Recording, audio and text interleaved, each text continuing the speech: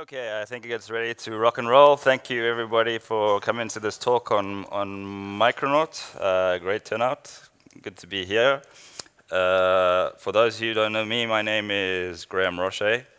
Um, I'm the creator of a couple of frameworks that you may or may not have heard of, um, Grails and Micronaut.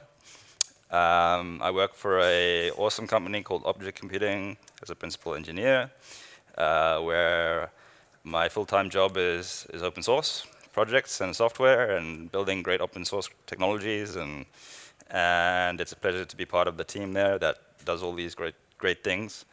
Um, in 2018, uh, I was uh, lucky enough to be awarded the inaugural Oracle Groundbreaker Award uh, for contributions to the Groovy and Grails community, and and that's that's awesome. And thanks for the kind folks at Oracle. Um, I live in, in El País Vasco, which I'm sure many of you have been to. Um, my wife is from the from the area. I've been living there for 10 years. So I could probably do this talk in Spanish, but um, not Catalan, unfortunately. But, uh, but yeah, I've been uh, living in, in Spain for quite a while now. And uh, I'm excited to be here. First time uh, at the conference, and it is awesome. So on the agenda today, we're going to look at like the challenges facing Java and software in general when it comes to adapting to microservices and, and serverless uh, models versus traditional models. I'm going to do some talking, I'm going to do some demos, and we're going to have questions, and hopefully you, are going to have fun. Um, so serverless challenges and microservice challenges in general. Uh, Java in general uh, is, you know, has, is challenging to use for, for um, serverless in particular, um, because, uh, you know, in general, existing tools and frameworks out there that we've been using for the last 10 years or so um, I'm not optimized for cold starts, nor for low memory footprint scenarios. Um, so, and if you look at like other technology stacks like Go and Node and so forth, they're generally better in this regard when it comes to um, cold starts, memory consumption, and so forth. And you have like important people, know, like Tim Bray saying, you know, Amazon AWS saying, no, no don't use Java for serverless. Uh, but that's because a lot of their opinion is based on existing technology stacks that we've been using the last 10 years, which it is true, they, they don't start up particularly fast. If you look at something like, like Spring or like, like um, Java EE or Jakarta EE, whatever you call it now. Um, and um, we as an industry have to be adapting to you know, serverless models, um, microservice models. Serverless, for example, is all about like how fast can your application start up from cold starts? And often, it's, you know, things like that we traditionally think about, like connection pools, are kind of irrelevant because what's the point of maintaining a pool if it's just going to go away, right? There's no point. Uh, so you have to kind of really reconsider how you architect your application, even things like local caches and so forth. And you have to choose technology based on your cold start requirements. So you have a whole different like set of technological concerns Microservices as well, um, you know, cold starts are not as important, but still pretty important. Um, the container is the deployment unit, and you know, containers in Java require special integration. Only just recently have we got the right Java flags to for Java to do proper memory management within a container. And um, you have to you know, optimize memory usage for Java. And if you look at how traditional frameworks work, so this is like traditional uh, frameworks that, are, that most people use today over the last 10 years, like for example Spring. Whilst Spring is an amazing technical, technical achievement, uh, what it does to do the magic that it does is essentially uh, you know, reads the bytecode of your class files at runtime um, so that it can figure out, is this a bean? Can I inject it? Is this an, an AOP proxy? aspect-oriented, can I inject it? And it synthesizes new annotations for each annotation on every bean, constructor field, and etc., to support what's called annotation metadata. Um, and it builds all of the all of the kind of reflective metadata by analyzing your classes at runtime. And um, this is a, a, a, massive problem if you're trying to achieve low memory. So uh, when we looked at this problem when designing, designing Micronaut, we were like, hmm, tough decision ahead. We want, we want to, you want to kind of use existing technologies because we love them. We love Spring. We love, we love Grails. We love, you know, existing technologies. but are they really optimized for what we're trying to do? Can we achieve the low memory requirement? Can we achieve the cold starts with traditional frameworks?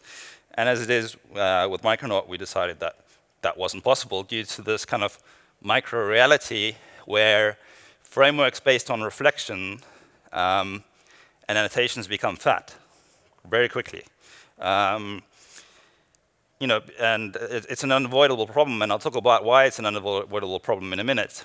But you know, we love the programming model. We love how Spring makes things easier. We love how these technologies make our lives easier. But you know, we kind of, so we kind of live with this problem, even though our, our, application is suboptimal and using a heck of a lot of memory and you know, not very efficient. But the question is, why, you know, why shouldn't we be more efficient? Why can we not build applications that are memory efficient in Java? It just doesn't, it doesn't seem right that we have to build applications that suck two gigabytes of memory. Doesn't, doesn't make sense. Um, and there's this definite correlation with you know, traditional frameworks between the number of lines of code in your code base and your startup time and your memory consumption. Where as you, your application gets bigger, your startup time goes, gets bigger and bigger and bigger and bigger, and so does your memory consumption requirements for your application.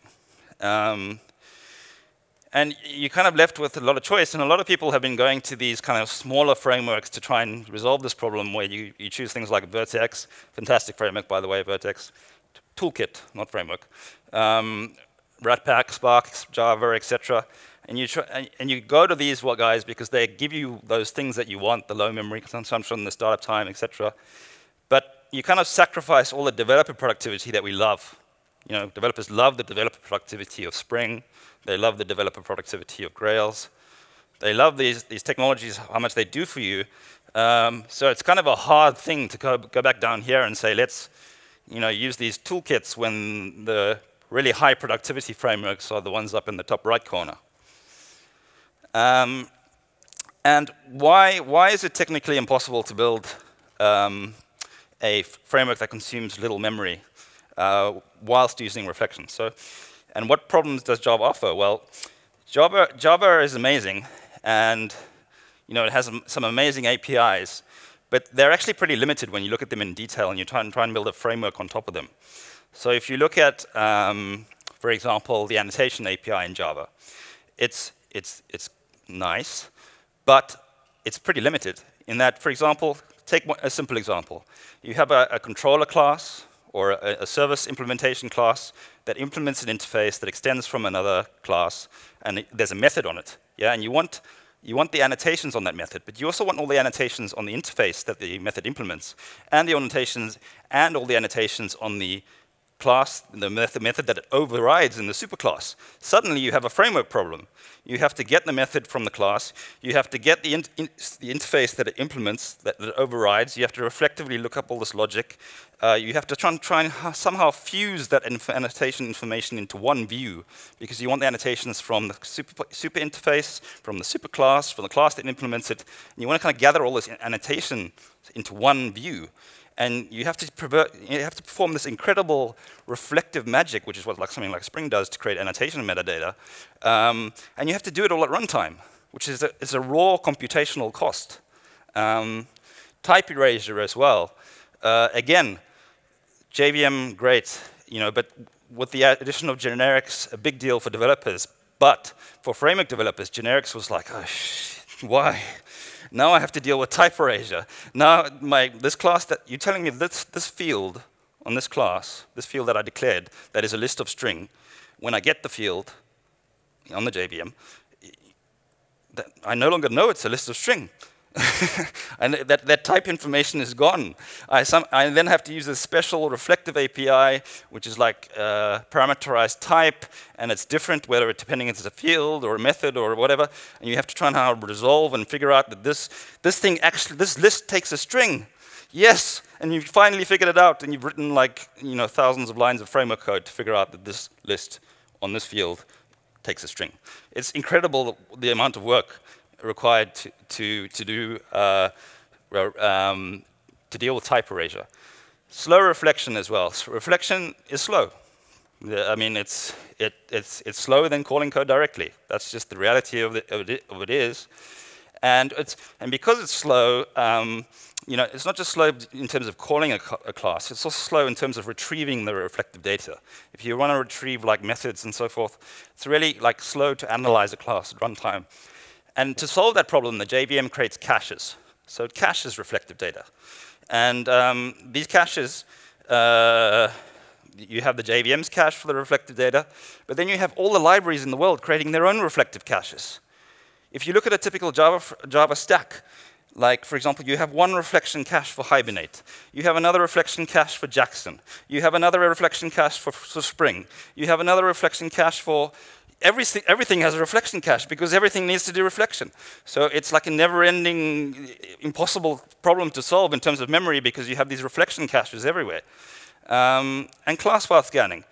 Um, like Spring and, and, pretty much any kind of Java technology that needs to load, dynamically load, uh, you know, visits all your, the Java classes in your Java files, uses ASM to analyze is this thing annotated with what. Uh, it's just slow. Um, and dynamic class loading is slow as well, you know. So it becomes problematic for framework developers because there are limitations that are not that are there for a reason. But from a framework developer's perspective, it's challenging to actually build a framework on. And you guys probably don't see this because you're the consumers of a framework. But us poor souls that have to develop frameworks like Grails, like, like Spring, like Micronaut, get to see all of this detail.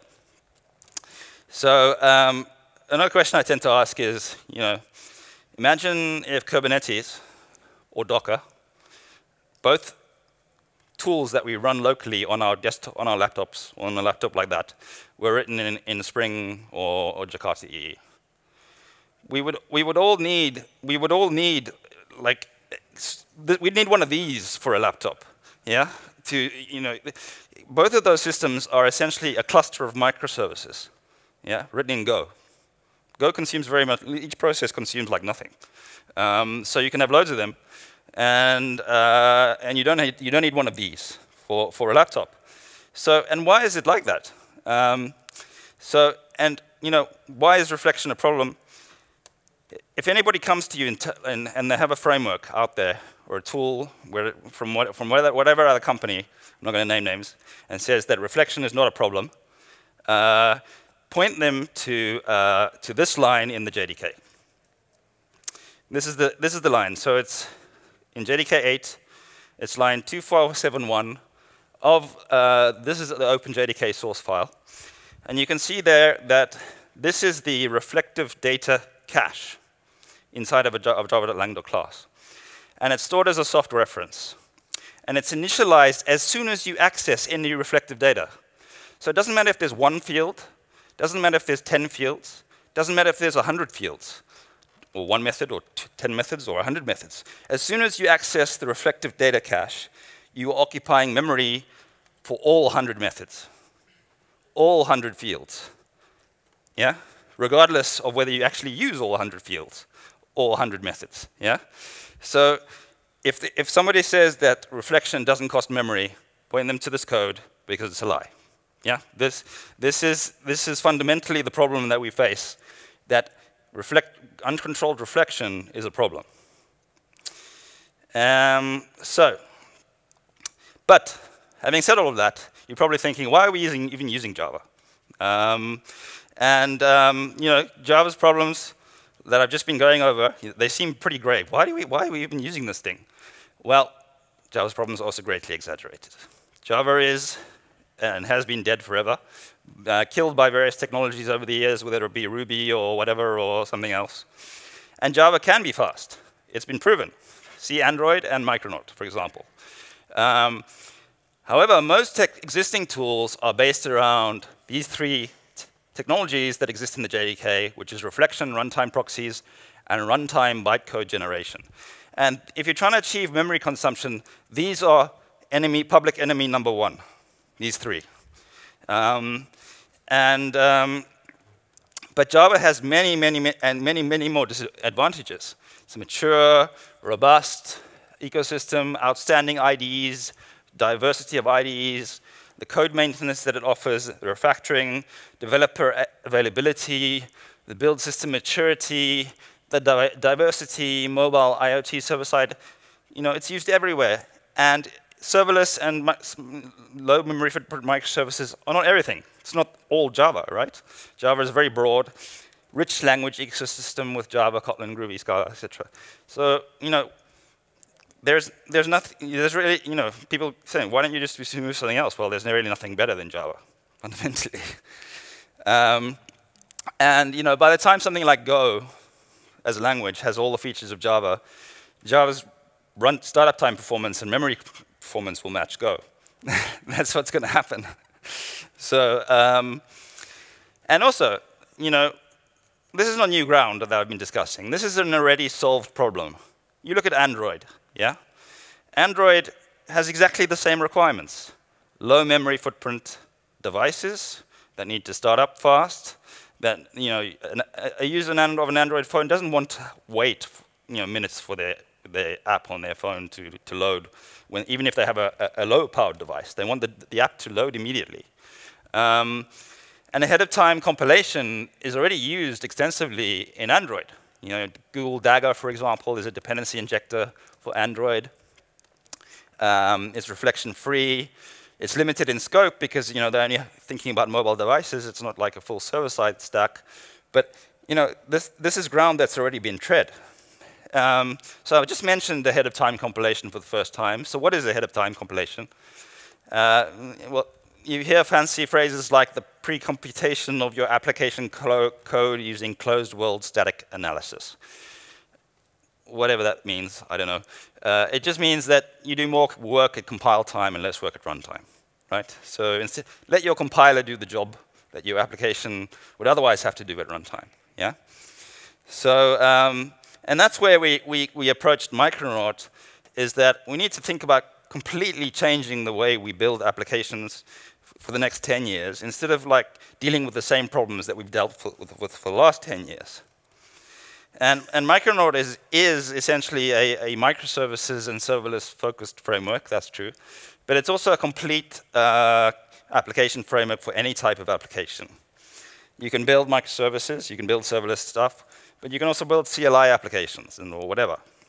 And features integrated dependency injection, AOP, configuration management, bean introspection, etc., etc. And um, it's, it's completely based on AOT, so ahead of time compilation. So all dependency uh, injection and configuration is ahead of time computed. The annotation metadata that I was talking about before, where you want to figure out all of the annotations from all the interfaces, we compute all of that for you at compile time. So you don't, the framework doesn't have to go searching for, for, um, for annotations.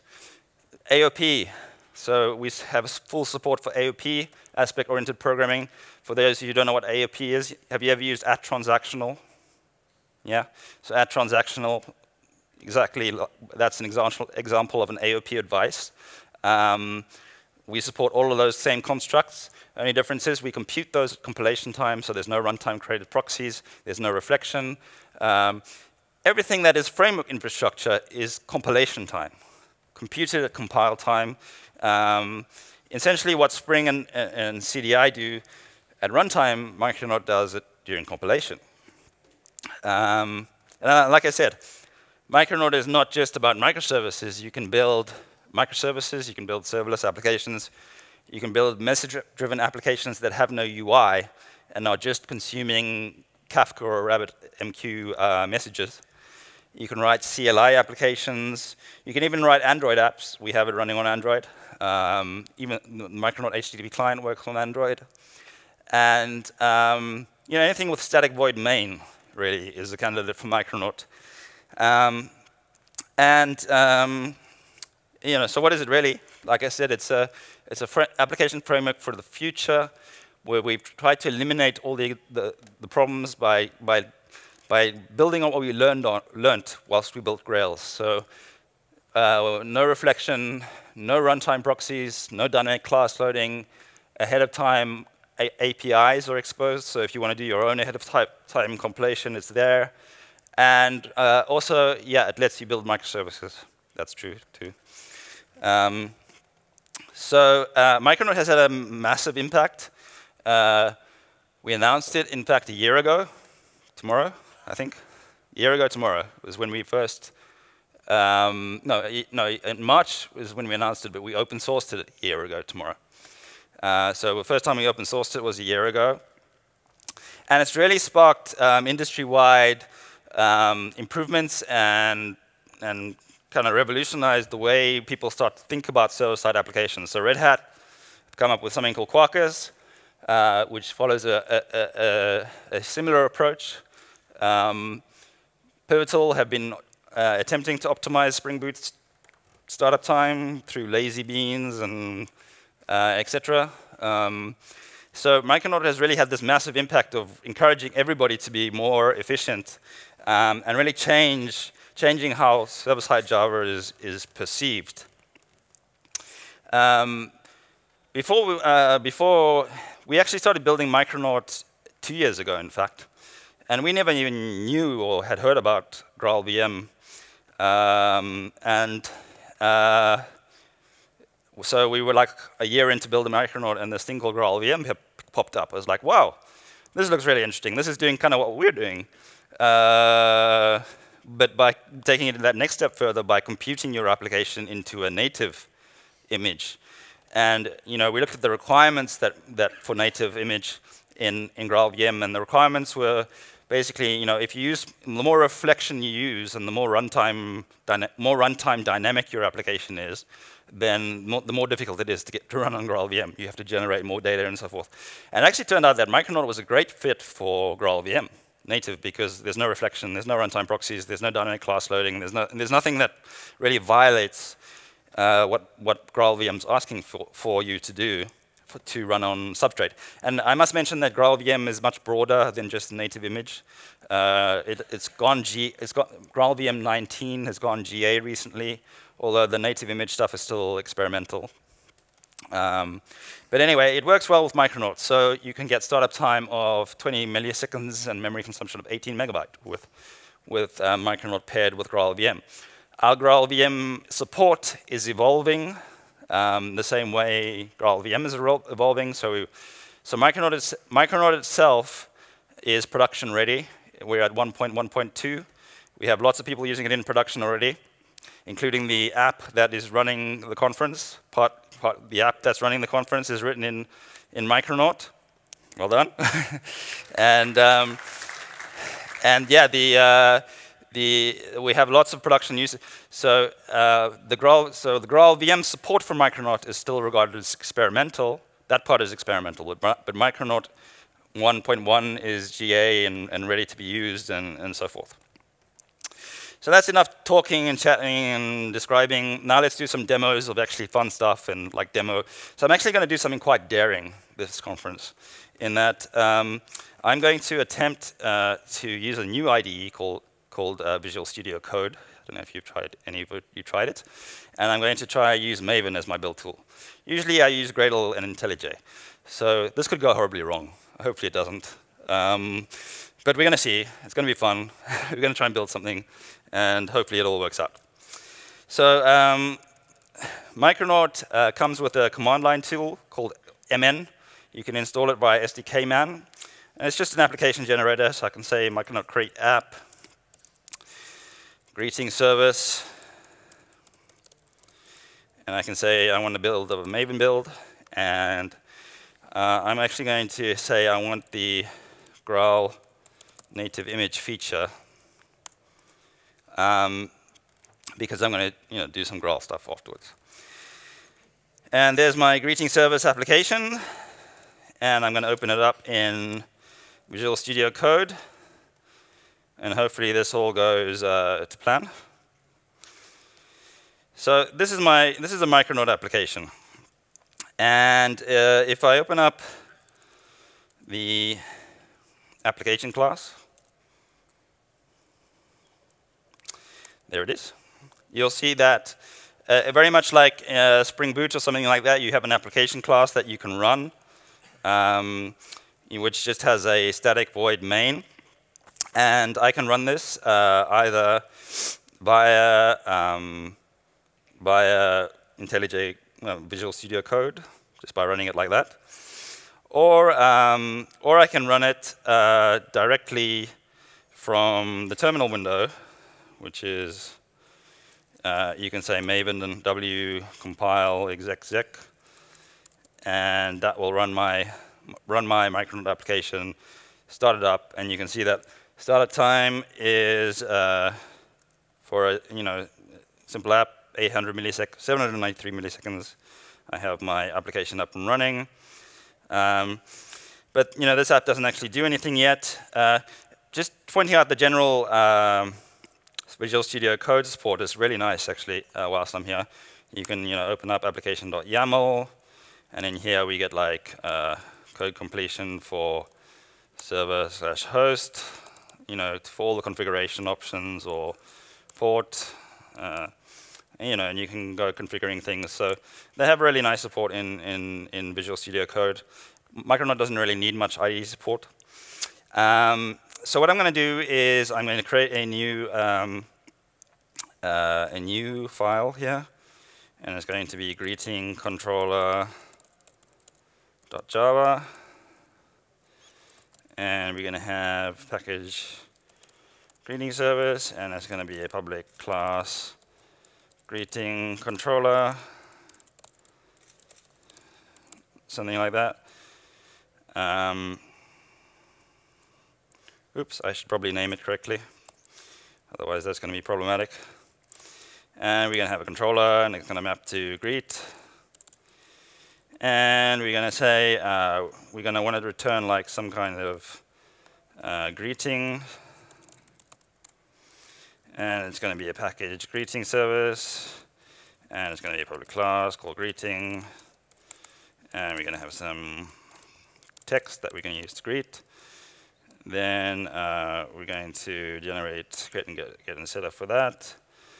Um, Micronaut has a, a nice uh, utility annotation called introspected, and what it does is it lets, uh, if you apply it to like a Pojo, it allows um, reflection-free bean introspection onto the Pojo, so there's no reflection to do getters and setters. So I'm going to add that there. And I'm going to say get, and I'm going to say name to a path called name, and I'm going to return a greeting from here, and I'm going to greet the person that has that name. And I'm going to return a new greeting, like that. And we're going to extract it into a variable. And we're going to say the greeting is going to be greeting set text, hello, name. There we go. That's my greeting controller. And um, uh, what I'm going to do now is write a, a, test for it. So we're going to come into my test uh, directory here. And we're going to create a uh, new, where is my test directory? New uh, greeting controller test. And it's going to have a package. Oops, that should be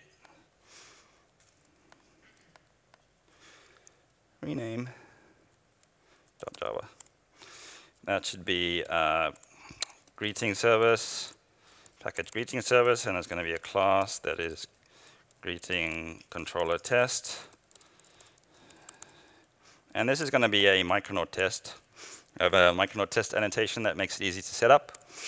And we're going to uh, we're going to inject um, a client that has a path to the reach URI and it's going to be an RX HTTP client. And we're going to write a test. And we're going to say uh, void test greeting. Oops. And we're going to say um, client uh, dot retrieve HTTP request dot get uh, what was it again?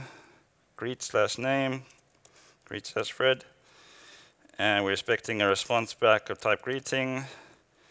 And uh, we're going to extract that into a local variable, which is going to return my flowable. So, say that that's going to be my result. Then we're going to say assert equals uh, hello, who am I greeting? Fred. uh, result dot blocking first dot get text. No, not get text. Save. Okay, so that's uh, that's that's my test. Uh, we run the test, and we see what happens. And if the demo guards are with me, uh, no, that that didn't work. Oh, somebody is is awake. Yes, that would have been a, a very fatal mistake uh, if that had. So let's try that again. Yay, so we have a, a working uh, greeting controller. My tests are passing.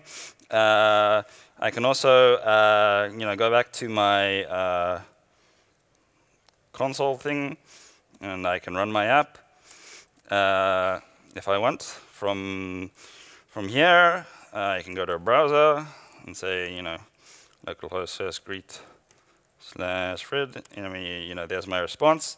So I have, you know, my initial implementation more or less working uh, how I expect it to. So uh, one, so one of the things we typically have in a typical app is that, um, you know, you have DI and dependency injection and so forth. Uh, so with Micronaut, uh, you can you can you know create, for example, a greeting service .java, and you know you can have it in a package that is a greeting service, and the, and this can be my class uh, greeting service, and this can be a singleton bean, and uh, we can uh, instead of like doing actual greeting in here uh, we can say, you know, have the greet method in this guy that actually returns my implementation. Uh, then you can, for example, have a private final greeting service um, variable here that you inject and you know create a greeting control create a constructor that in, injects the service uh, and this is my greeting service um, and then in, in here we can say, instead of doing all this logic in here, you know, we can say greeting service dot greet name, and uh, more or less that's going to you know give me the same uh, overall um, behavior. Instead, instead of you know, instead we're just using di uh, to implement the um, the functionality. And uh, you know, in this case, I'm, I'm, injecting what is Micronaut's low-level client, which is based on RxJava 2, uh, but it exposes reactive stream, so you could you know use Reactor with it as well, or whatever. And I'm, I'm saying like retrieve.get. But Micronaut also has a uh, declarative uh, built-in uh, client, so I can say greeting client.java. I can say package greeting service and create an interface here. That is my gre greeting client. Uh, and this, this guy is going to be a client, and it's going to talk to my greet endpoint, I think it was greet. Right, greet, yeah. It's going to talk to my greet endpoint. Um, it's going to make a, a, get request to with, with my name vari variable, and it's going to return the the greeting object that I'm you know, attempting to communicate with. And uh, it's going to be an interface. And then in my test, uh, instead of uh, doing all this business, I can just say uh, inject greeting client. Um, and you know, instead of all this business, I can just say greeting client.greet Fred and extract that into a variable uh, and just say greet.text. And we can run the test again. Where my test is? Yes. Oh, what am I failing to do here? Greeting client cannot be resolved to the client. Cannot be resolved to a type. Hmm. Really? Well, let's try and run that with uh, Maven W test out of interest and see if that gives me a Okay, well, I, that's obviously some Visual Studio code thing, but it is working. My tests execute. And notice as well, like my test execution time, like one of the big things about Micronaut and one of the big changes you go through in you know, Daphne to Micronaut is tests execute instantly. Like if you're writing functional tests, or if you're writing um, tests that are like, you know, how often do we make the decision in, in, as Java developers, actually, I'm not going to write a functional test for this because my app is too slow to start up. Yeah? People, that shouldn't be a decision factor. That shouldn't be a decision. You shouldn't be making a decision, should I write a functional test that actually spins up my app uh, versus should I write, not be writing that, uh, based on how fast your application starts up. That, that, that, that means there's something wrong with the, the architecture of your application. Tests, tests run instantly with Micronaut. Um, they're like unit tests. Functional tests become like unit tests, and you write better tests, more comprehensive tests that exercise you. There's nothing like uh, you, you, probably can't see it here, but you know, if I add, if I enable uh, logging in logback, uh, and I say uh, logger name equals io.micronaut.http.client, I say level equals trace, uh, and then I come back to my uh, terminal window and and I run my test again, you'll see that uh, my, this is my full application spinning up. Uh, I'm sending actual HTTP requests. There's, there's, there's, nothing mocking happening. Here. There's no mocks uh, in Micronaut. In fact, we, we purposely do not have in Micronaut mocking libraries or libraries that mock things. If you have libraries that mock things, that's a sign that there's something wrong. Um, you shouldn't have libraries that mock things. You should be able to spin up your whole infrastructure, your whole app, and then you should be able to test it, and I shouldn't need mock MVC. That, that, mock MVC is the, is, why, do, why does it exist? Um, it doesn't make sense to me. So uh, this, this, this, just you know, spins up, it executes as fast, uh, it's efficient, it's quick, and um, I'm not waiting around. Uh, you know, and, th and this also even influences like people end up not writing tests. I, you know, how many projects I come around and say, "You don't have any tests?" Yeah, we don't write tests because you know they're too slow to run, and then. Why? so, um, Micronaut, fast tests, uh, and efficient. So uh, that you know, I've, I've, I've built like a, a pretty interesting application here already. You know, it has uh, dependency injection, it has a client, it, has an interface that's a client that talks to my server, uh, dependency injection, um, I can apply all sorts of AOP and keep, keep, this going, but I think this is really pretty cool.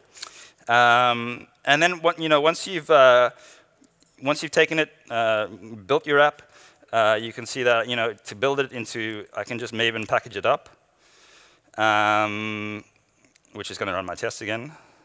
Uh, and um, you know, then I can Java jar and run it, you know, as a standalone mi microservice. And it's there, it runs, it's fast, it starts up, it's quick.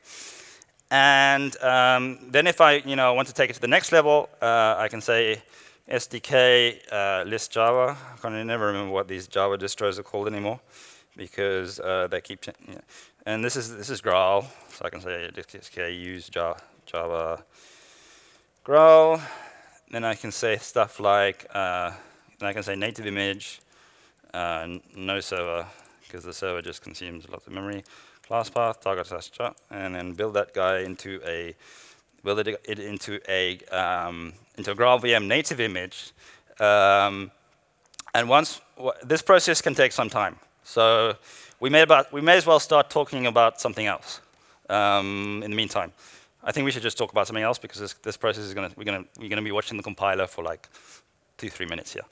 So if anybody tells you there's no disadvantages to GraalVM, just bring them back to my talk and watch this part of the talk because the big disadvantages to GraalVM na native is that here we are waiting for the GraalVM substrate native image tool to compute my Micronaut app into a native image.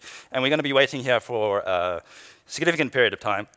And then once, once it's computed into a native image, it's runnable locally, but remember that you have now lost, lost write once, run anywhere. So you can't run it anywhere. You can only run it on this Mac, on a Mac, on a, on a Darwin-based machine, or, or you, if you wanted to run it on your Linux server, you have to compute it with Docker, and you know specifically with the environment that you want to run it on. Um, so there's various you know disadvantages to and trade-offs that you have to make uh, when you consider to use something like Substrate, uh, a native image, apart from the fact that uh, Substrate and native image is still very much experimental and evolving. Um, however, having said all that, it's really exciting technology. It's really exciting that you can do this and that uh, we can compute a Micronaut app. Um, and once it's actually finished uh, computing, um, then uh, the end result uh, is, is, a, is, essentially a natively optimized image um, that will start up uh, on this machine in milliseconds and, um, and consume a fraction of the memory. So there's, th there's a trade-off there that you have uh, that you have to think about if you're considering this technology. You have to consider, um, is it worth it? Um, and uh, there you go, it's done. So I managed to talk all the time. It's good. So you can see when I run it, it starts up in 25 milliseconds. Uh, if you look at the actual process, I think it consumes like 14 megabytes, which is you know more like Go territory and so forth. But even if you don't, even if you don't use this technology, Substrate, Micronaut is awesome because it optimizes Java to the best it can possibly be. Yeah, with with Micronaut, your startup time is sub-second with Java consumes around 80 megabyte of memory for 70 to 80 megabyte of memory for a process, and which is still a significant boost over your traditional app, which consumes like gigabytes of memory. Um, okay, so that's that was the demo. So yeah, that was an example of Hello Micronaut. You know, controllers, easy programming model. Um, you know, declarative clients. Key thing about the client stuff: computed at compile time, no runtime proxies involved everything reflection-free, um, zero reflection. How small, the smallest Micronaut Hello World app, when you build it into a jar file, is 12 megabytes. So again, you know, you compare that to traditional stacks, when you build your WAR file, and it's like a 30 megabyte jar or a 40 megabyte jar. Again, there's benefits there. I can actually run my app in as little as 10, 10 megabyte of heap. So, um, uh, so you, you, know, if Graal, actually, Graal's virtual machine actually uses more memory than, um, than Oracle's one, uh, than the regular JVM. Uh, but basically, you know, I can say Java slash jar target uh, greeting service, and I can limit the memory, and I can say, you know, I, I only want to use a max heap of 7 megabyte to run this jar. And you'll see that uh, it still starts up, it still starts up fast, and the, the application is still uh, functioning perfectly within the limits of 7 megabyte of max heap. Like a regular Java app, you need like 32, 64, uh, sometimes 128. Uh, you need a lot of memory. Micronaut can run on the baby Raspberry Pi. It can run in low memory footprint environments. It's very, very efficient. Um, and we, it's only efficient because, like I said, we're not using reflection. If we were using reflection, we'd be the same as everybody else. Um, so uh, startup time is sub-second, all DI, AOP proxy generation happens at compile time. So uh, cold starts, you know, on Open, OpenJDK, as you saw, you're looking at around 800 millisecond uh, cold start and around 80 to 90, sometimes 100 megabyte memory usage for like a simple app. Um, for if you go, there's some really interesting happening, stuff happening in the OpenJDK community. One of them is Eclipse OpenJ9, which is the, uh, IBM's J JVM. And they have a class sharing feature, which is much easier to use than the built-in one that comes with OpenJDK. And when you use that, Micronaut's startup time drops to 300 milli milliseconds. This is not native, this is regular Java. And uh, memory consumption goes down as well to you know only 70 megabytes. So that's already approaching. You know, do you need substrate uh, if you've got 300 milliseconds startup time already? That's already good enough for a lot of use cases. Um, of course, if you go the Graal native route, then yes, you get 15 millisecond startup time and very low memory consumption, but with some significant disadvantages that you must consider. Um, when evaluating any, any, technology. In fact, you know, even Micronaut has this. I'm not going to tell you Micronaut is this like golden. Micronaut has disadvantages. Micronaut's compile times are slower than your regular Java framework, like Spring, or because we do stuff at compile time. We pay the cost for the compiler so the app is faster runtime. Yeah. Uh, again, on AWS, Micronaut has dedicated AWS Lambda support. A simple function starts in 300 milliseconds. API gateway style app starts at 800 milliseconds. You, we even have a custom runtime for Graal that does 150 millisecond startup times, cold starts on AWS Lambda. Micronaut 1.1 is out already and ready for production. Uh, it's production ready. 1.1.2 is the current version. In this latest version, we have gRPC and GraphQL support, as well as RabbitMQ support, improved Kafka support. The project is healthy. It's really you know, exploded onto the scene in, in a year. We've gone to 2,350 GitHub stars. Uh, we've had loads of external contributors. There's so many people excited about it. Um, we have more excitements and uh, exciting announcements in, in 2019. And for the locals in the audience, it is you know, we have uh, four folks, uh, three in Madrid, uh, me and the, the, north of Spain. It's effectively made in Spain. so, um, so yeah, exciting, uh, exciting project for folks local here, and you know, we're all around the corner, the Micronaut team. So if anybody here needs help or needs questions, we're all around. Um, lots of resources. We have a Gitter community user guide, uh, all sorts of stuff. I leave time for questions. So in summary, Micronaut and Graal VM are pretty much the leaders of the AOT ahead of time compilation revolution. Uh, Server-side Java is adapting to the serverless world and, and becoming more efficient, building better applications, more efficient, lower memory, faster. We're making things better. And um, AOT sacrifices compilation speed, but you gain so much more in terms of the performance of your application, and you know, by using, choosing something like Micronaut, you leave, leave the option open to go like native with Substrate or GraalVM in the future. So Micronaut is already pretty compelling, and we have a lot more coming. So that's, I have left three minutes for questions. Thank you very much. Q&A.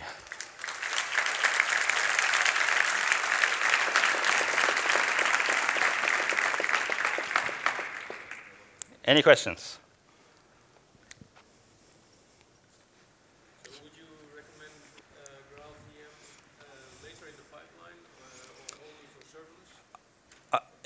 If you have like simple serverless cases, it, it, can be can be something that's usable now, but it, it currently GraalVM native is very much it's regarded as experimental by the GraalVM team or early adopter status.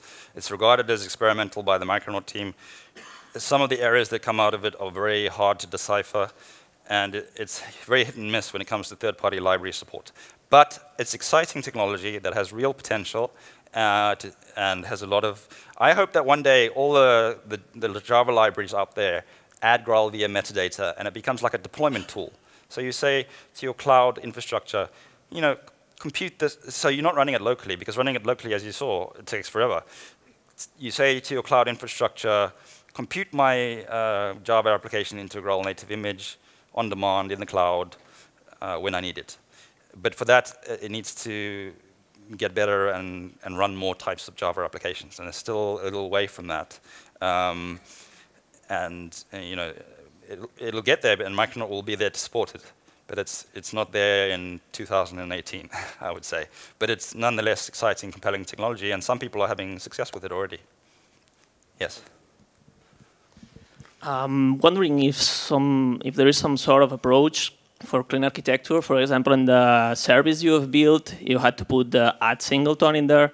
But if is there any way to keep the framework out of the of the production code and just put it on configuration similar to what Spring does with at-bean? So at singleton is, uh, for one, at singleton is actually more standard than Spring in that it's the annotation from javax.inject. So we use, you're not, at singleton is not um, is not like a, a Micronaut annotation. It's a it's a, an annotation from the JavaX.inject uh, TCK spec, yeah, which Micronaut supports. So when I say at singleton, I'm not, I'm not, I don't have a, dependency on Micronaut. I have a dependency on the on the JavaX.inject spec, And the, it, the other feature that we have in Micronaut, which is really nice, which I didn't talk about, is because we do everything at compilation time, we have the ability to map any annotation to any other annotation at compile time. So we actually support all of the Spring annotations. You can use at bean and at, uh, at configuration and all of the Spring annotations, and there's absolutely zero runtime cost because all we do is translate that annotation to our annotation at compilation time, and things work the same at runtime. Uh, so we have plans to support more specifications like JavaX.validation, Java, potentially JAX-RS, potentially other things in the future, uh, more standards um, as we evolve the framework and take it forward.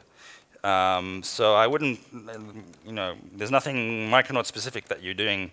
Um, and, and actually, that's exa exactly what, you know, Grails is, 4 is built, ha has Micronaut built in, and we're using the Spring annotations with Grails 4, and it works the same.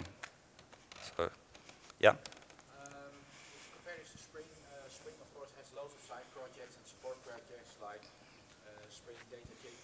Mm -hmm. So can you give an update on what the current maturity is in Micronaut to uh, you know, um, support these kinds of side projects?